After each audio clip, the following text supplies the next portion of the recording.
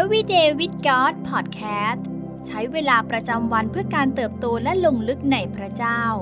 ประจำวันพฤหัสบดีที่ 16 กุมภาพันธ์ 2023 ซีรีส์เติบโตในการอัศจรรย์วันที่ 2 ความใกล้ชิดนำไปสู่ความมั่นใจ ระวิญญาณทรงช่วยเราให้เป็นเหมือนพระเยซู และนั่นคือการเดินทางตลอดชั่วชีวิตของเรามัทธิวบทที่ 3 ข้อ 13ถึง17 แล้วพระเยซูเสด็จจากแคว้นกาลิลี มาหายอนที่แม่น้ำจอแดนเพื่อทรงรับบัพติศมาจากท่าน แต่ยอนทูลห้ามพระองค์ว่า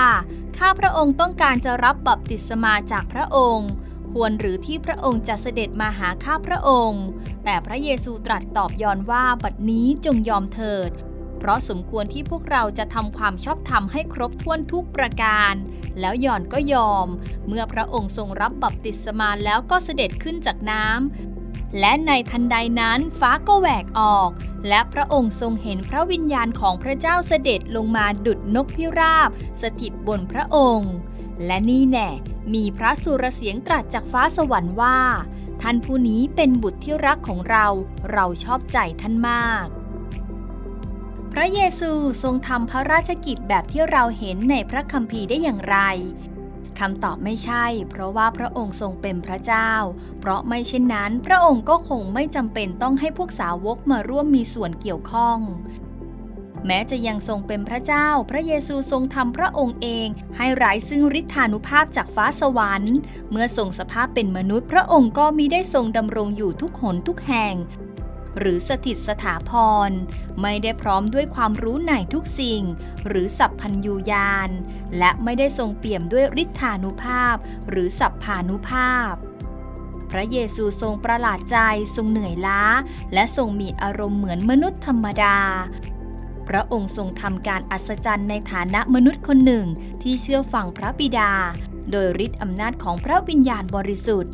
นี่เป็นเหตุผลที่พระเยซูตรัสในยอห์นบทที่ 5 ข้อ 19 ว่า พระเยซูตรัสกับพวกเขาว่า เราบอกความจริงกับพวกท่านว่า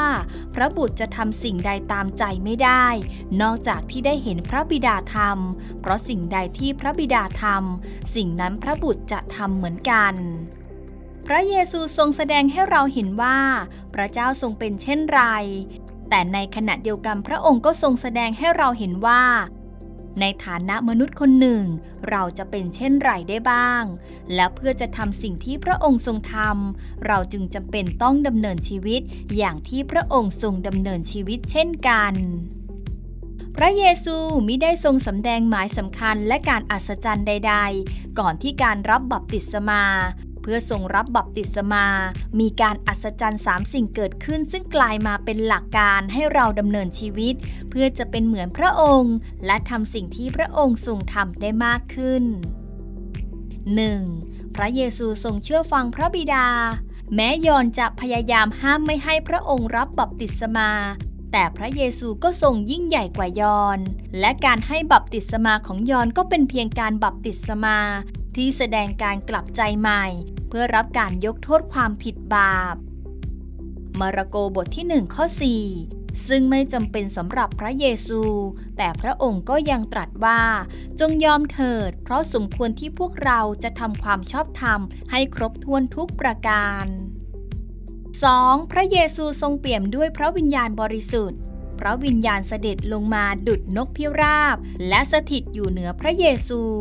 นี่คือสัญลักษณ์ของความบริสุทธิ์ที่ลึกซึ้งและติดสนิทยิ่ง ต่อมายอนได้กล่าวไว้ในยอนบทที่1ข้อ32 ว่าข้าพเจ้าเห็นพระวิญญาณเสด็จลงมาจากสวรรค์ เหมือนดังนกพิราบ และสถิตกับพระองค์ แม้เราหลายคนอาจเคยทำให้พระวิญญาณเสียพระทยัย แต่พระเยซูนั้นทรงไม่เคยทำให้พระวิญญาณช้ำใจเลย 3. พระเยซูทรงได้รับการยืนยันจากพระบิดา ในมัทธิวบทที่ 3 ข้อ 17 มีพระสุรเสียงตรัสจากฟ้าสวรรค์ว่า ท่านผู้นี้เป็นบุตรที่รักของเรา เราชอบใจท่านมาก พระเจ้าเองก็ทรงรักเราเช่นกัน และพระองค์ทรงพอพระทัยในตัวเราไม่ว่าเราจะเป็นอย่างไร แม้จนถึงตอนนี้ พระเยซูยังทรงไม่ได้สำแดงการอัศจรรย์ใด ๆแต่ก็ทรงทราบดีว่า พระองค์ไม่ต้องการทำสิ่งใดเลยเพื่อให้ได้รับการยืนยันจากพระบิดา พระองค์เพียงแต่ต้องพร้อมที่จะแบ่งปันทุกสิ่งอย่างที่พระองค์กำลังทรงท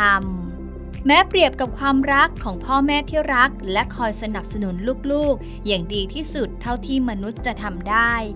ก็ยังเป็นการยากที่เราจะเข้าใจถึงพระคุณอันแสนอัศจรรย์ของพระเจ้า ก่อนที่เราจะเริ่มลงมือทำพันธกิจในฐานะสาวกของพระเยซู จงตระหนักเสียก่อนว่า เราไม่ได้ทำสิ่งต่างๆ เพื่อให้ได้รับการยอมรับจากพระบิดา แต่เพราะพระองค์ทรงยอมรับและรักเรา เราจึงทำพันธกิจเหล่านี้เพื่อพระองค์ สิ่งที่ต้องใคร่ครวญในวันนี้ เราจะเป็นเหมือนพระเยซูผ่านแง่คิดจากเหตุการณ์การบัพติศมาของพระองค์ได้อย่างไรบ้าง มีสิ่งใดที่เราจำเป็นต้องกลับใจ หรือเรียนแบบพระองค์ผ่านเรื่องนี้ ให้เราอธิษฐานด้วยกันค่ะพระบิดาที่รัก เราสรรเสริญพระองค์ เราขอบคุณสำหรับความรักและพระคุณอันแสนอัศจรรย์ที่โลกไม่อาจเข้าใจ ขอทรงช่วยเราให้ได้ใกล้ชิดและลงลึกกับพระองค์มากขึ้นและมากขึ้น ขออย่าให้เราทำเพื่อได้รับแต่ให้เราได้ตระหนักว่า เพราะเราได้รับอย่างมากมาย เราจึงทำเพื่อพระองค์ ขอทรงประทานความมั่นใจว่า เราได้รับการเจิมแล้วโดยพระวิญญาณบริสุทธิ์ เพื่อทำการอัศจรรย์ต่าง ๆ อย่างที่พระเยซูได้ทรงกระทำและผ่านการเชื่อฟังและยอมจำนน พระองค์จะทรงใช้เราได้อีกมากมาย เราอธิษฐานในพระนามพระเยซู อาเมน